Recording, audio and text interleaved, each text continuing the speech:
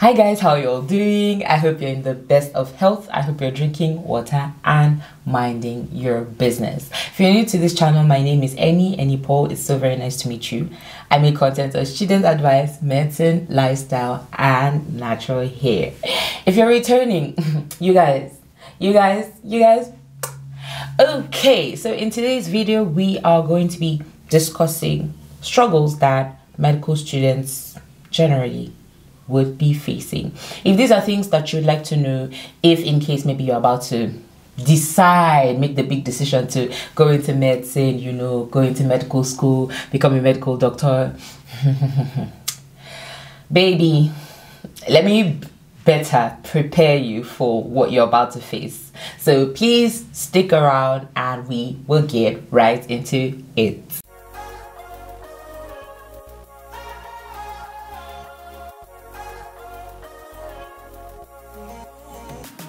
Okay, so the first problem that we're going to be dissecting today is that if you are a medical student, and this will not just apply to medical students, but because majority of you on here are medical students. If you are a medical student, a medic in the medical line, anything of that sort, you would almost suck at relationships. The key word is almost suck. When I mean almost suck at relationships is going to be because most of your time is going to be in medicine and you are just generally yeah relationships are supposed to be a give in give out. So you with your friends you with your guys and girls and it's still there's just almost not going to be enough time and if you check just to confirm what i'm saying is how and how this applies to you majority of your friends or a good number of your friends that you speak with on a daily basis or on a weekly basis at least would kind of be along the lines of medicine as well. I was right. No, I was right. I wasn't right. that, that's okay. I, I wasn't about to cry anyways. But what I was about to say was that because of the fact that medicine takes a toll on your time, takes a toll on your resources, takes a toll on your person, you're literally almost not going to have relationship energy. And this is not this is not even about dating or anything of that sort because obviously, I mean, you can date while in medical school if you can take it or if you can balance it out. I'm just here to say that even your boy boy, girl girl relationships, your friends, your besties, your people from high school and all whatnot, literally, are going to also feel it because you are now in medical school.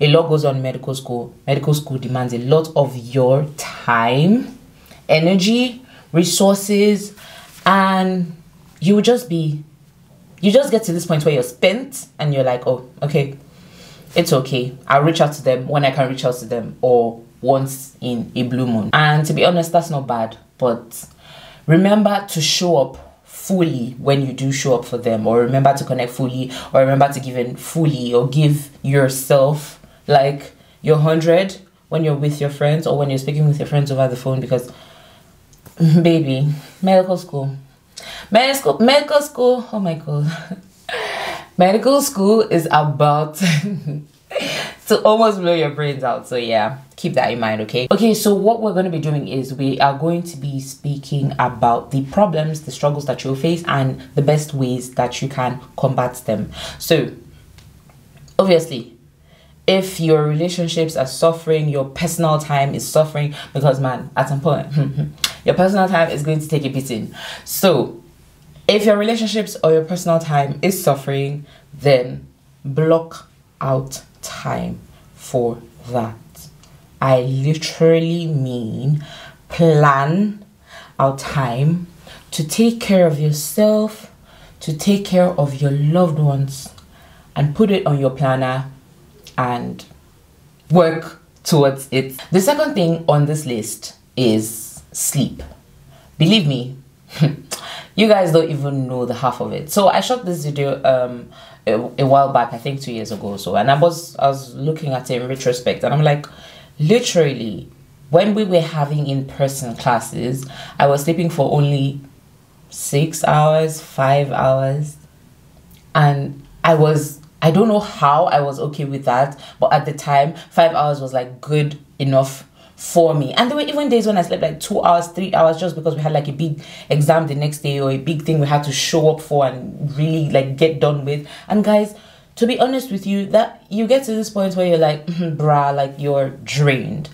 One time we were having splanchnology and I remember one of my friends, one of my friends literally did like a nightcap and after the exam, like the next day, they just went, they, they, I know nightcaps are normal, yeah, but nightcaps that you don't plan for physically, with food, with friends, in a group. My dear, that nightcap was a serious. Well, according to what happened after that nightcap, it was like sleep galore.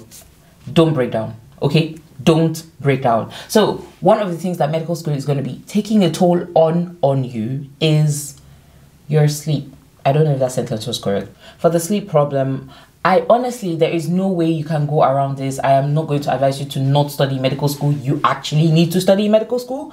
So, baby, you are going to be doing a lot of reading. But here's my advice find your body clock, find a clock that works for you. You see how I said that I can do well with like five hours of sleep and kind of be okay like functionally okay you know? Like i i, I won't be like zombie-ish in class. I won't be like walking dead kind of. But you guys already you guys already know that. But it did take me time to figure that out. So i mean like you can't just be obviously, yeah, this is what I advise. In your first year of medical school, things are going to be a little bit chilled for you. Yes, there's going to be a lot of information, a lot of things are going to be coming at you at once. You're not even going to understand the jack of what is going on. But believe me, that's one of your easiest years. So I think that in your first, second years, you should take out time to experiment. Hmm? Find the sleep pattern that works for you. I have people that sleep like three hours, beats then three one hour then beats then you do get? Or know if okay you're good with six hours and then a 30 minute nap in the afternoon something of that sort. Guys discover yourself in essence. That is what i am trying to see thanks. Okay so we are about to go into the third tip and if you haven't already please support this channel by giving this video a like. It helps youtube recommend this video to amazing people like yourself. If you haven't subscribed already consider joining join the family. Like yo be here be here for your girl. Thank you so much. Thank you. Yeah yeah yeah. Subscribe now subscribe. Thanks. The next tip on the list is your health I know you believed that you came to medical school so that when you're done from medical school, you can actually help people and, you know, save the world and be like Flash with, you know, scalpel and doing all working or miracles and magics and things like that. But that's not always the case. Sometimes medical students or medics fall sick as well. And one of the reasons why I am saying this is because no one actually prepares you for the amount of um amount of sick people that you might be interacting with most especially as you go up in your clinical years i mean you're going to there's going to be a lot of exposure to different types of diseases different types of patients obviously you're going to learn but the thing is there is a risk of like just catching something. The patient just sneeze like tree. You'll be wondering if that's COVID. But anyways, we are going to catch it because we are going to stay safe. We're going to be quarantined. We're going to be drinking water, minding our business, and saying our prayers. Amen. Amen. Okay, so guys, back into the video. Like I was saying, like your health is really questioned. And one of the ways that i would suggest that you i know here in ukraine um our teachers do take precautions to not take us into very like infectious rooms or to see potential patients that could infect like a, a, whole group or something because a group is quite a large number of people and that group has their own little small circles outside of that group. So like i was saying because they're trying to curb the rate at which infections pass or something like that usually they might not take you to like very infectious patients but there is no telling. So, what you can do to combat this or what you can do to stay on the safe side is to make sure that you've gotten your vaccinations. Make sure that you've gotten your vaccinations. Make sure that you are vaccinated, you are protected ahead of time so that in case anything is going around i'm going to use this quick example yeah? So in third year or fourth year i can't really remember and then there was this measles outbreak and then the school was making a fuss about who is who's who's been vaccinated who's not been vaccinated and if you weren't yes you were able to get the vaccination for free at that time but there was a really long queue. So here's the thing if you had if you already had your vaccinations prior to that time then we won't even be having this conversation because you'll just be chilling. Do you understand? Obviously, you'll be staying safe and doing all of that, but you guys kind of understand um, what I mean. Okay? I hope you do. One of the other struggles that you might be facing is in terms of your hobby and your passion. And why am I saying in terms of your hobby and your passion? It's because you see, like when you get into medicine, it does take you time to adjust.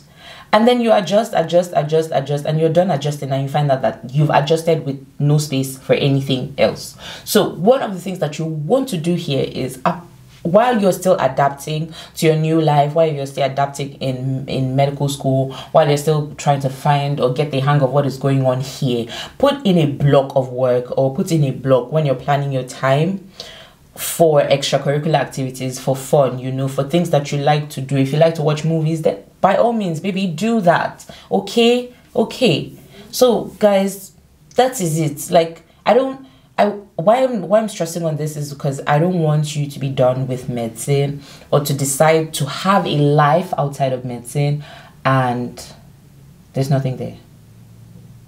Do you understand? The last and final thing that we're going to be talking about today as per one of the struggles or sacrifices of a medical student, a prospective medical student, or a current medic will be your life. No one literally prepares you for the amount of studying that you have to do inside of medicine. So, yes, I understand that you can prepare yourself by reading some books before you actually get into medical school or doing an A level course, you know, in something that's science related.